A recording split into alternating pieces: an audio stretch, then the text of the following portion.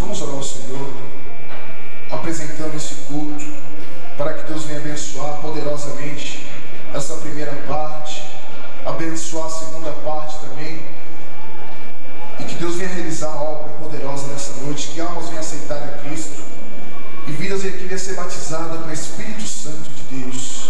Amém, irmãos? Vamos ao nosso Senhor. Altíssimo Deus, eterno Pai, Senhor, mais uma vez estamos aqui, ó Deus